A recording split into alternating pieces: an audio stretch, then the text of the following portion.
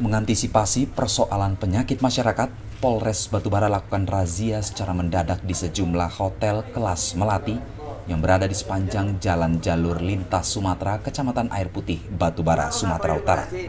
Dalam razia kali ini, sebanyak tujuh pasangan mesum di luar nikah berhasil dijaring oleh petugas di dalam kamar hotel dalam kondisi tanpa busana. Petugas juga menemukan beberapa alat kontrasepsi dan alat tes kehamilan. Untuk menghindari pemeriksaan petugas, para pasangan banyak yang berusaha bersembunyi di dalam kamar mandi. Razia ini merupakan hal yang rutin dilakukan oleh kepolisian Polres Batubara. Selain untuk memberantas penyakit masyarakat, juga untuk menekan dan memberantas peredaran narkoba yang selama ini kerap dilakukan di dalam hotel maupun di tempat-tempat karaoke. Menurut Kasat Sabara Polres Batubara AKP DP Sinaga, Polres Batubara melakukan razia di sejumlah hotel, juga bekerja sama dengan tim Sat Narkoba serta Satreskrim Polres Batubara. Dari ketujuh pasangan mesum yang berhasil ditangkap, bagi yang berstatus lajang wajib dijemput oleh orang tuanya masing-masing. Sedangkan bagi yang berstatus sudah berkeluarga, harus dijemput oleh istrinya.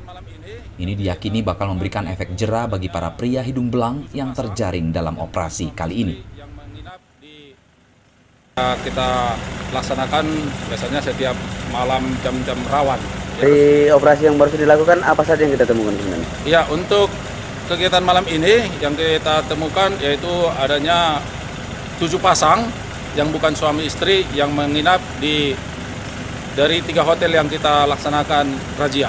Nah, terus bang selanjutnya ke tujuh pasang ini di kemanain bang? Tindakan Ya. apa yang diambil? Sekarang sudah kita bawa ke Polres, nanti di sana kita data, kemudian nanti kita panggil keluarganya, kemudian nanti kita lakukan pembinaan-pembinaan.